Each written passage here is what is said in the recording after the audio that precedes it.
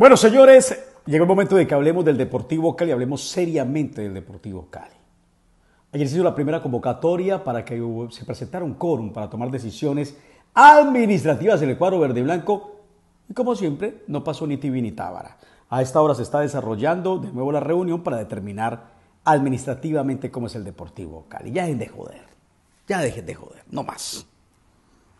Si ustedes que dicen ser asociados hinchas del Deportivo Cali para que pagan una cuota, creen tener el derecho a determinar cuál es el futuro del cuadro verde y blanco, están totalmente equivocados. Si usted paga una cuota por decir que es asociado al Deportivo Cali, pero no va a las reuniones que van a definir el futuro administrativo y futbolístico del plantel que dicen que ama, están jodidos, están fregados. Porque ustedes no son los 900, 800, 1000, 1100, los únicos hinchas del Deportivo Cali. Los Deportivo Cali tiene hinchas, tiene miles de hinchas. Para que dependa la situación, para que dependa el futuro, para que dependa el nombre del cuadro verde y blanco, en 520 personas que no van a una reunión para hacer un bendito quórum, no sé cuántas se necesita para hacer un quórum. A un equipo donde le deben a los jugadores de la profesional y le deben a la, a la chica del equipo femenino y le deben también a los empleados. Y ustedes no tienen ninguna pena que porque pagan una cuota mensual de irse a bañar al turco, al sauna, de meterse a las duchas, bien rico, y esos son los que mandan en el Deportivo Cali. ¿Y el hincha que paga la boleta qué? Y el hincha que ha llenado el estadio frente al Junior, el hincha que va en partidos irregulares con un equipo perdiendo, pero sin embargo el estadio del Deportivo Cali con una cantidad de gente, 15 mil, 18 mil, 20 mil, 25 mil seguidores, hinchas de cuadro de pagando una boleta dependiendo de un poquito de personas. El futuro el nombre del Deportivo Cali. Dependiendo de unos cuantos que dicen que aman el plantel y hacen una bendita reunión. Y, es que es muy tarde a las 6 de la tarde. Es que yo no puedo ir. Es que, es que, es que, es que qué. Entonces dejen de estar hablando tanto en redes sociales. Dejen de estar hablando tanto con periodistas.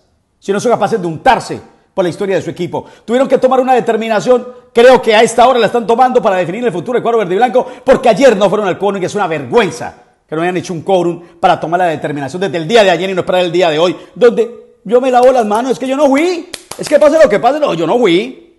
Increíble lo que está pasando en el cuadro verde y blanco. No hay derecho a lo que pasa en el Deportivo Cali. Y pasa el tiempo, y el hincha, el de a pie, el que paga la boleta, el que ahorra para poder ingresar al estadio, sufriendo, pariendo, sin saber el verdadero futuro de su equipo. Es hora de que el Deportivo Cali, ojalá algún día recuadren verdaderamente, que no sé por qué no creen en sus estatutos, y tenga un dueño. Al hincha no le importa quién sea el dueño, con tal de que sea limpio y legal, no le importa quién sea el dueño.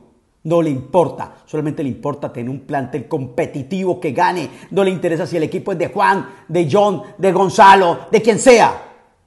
Solamente que su equipo tenga un plantel competitivo y siga aportando a la historia muy buena que tiene como institución el cuadro deportivo Cali. Eso es sencillo, señores. No olviden que vamos a hacer el primer taller internacional de fútbol para hinchas.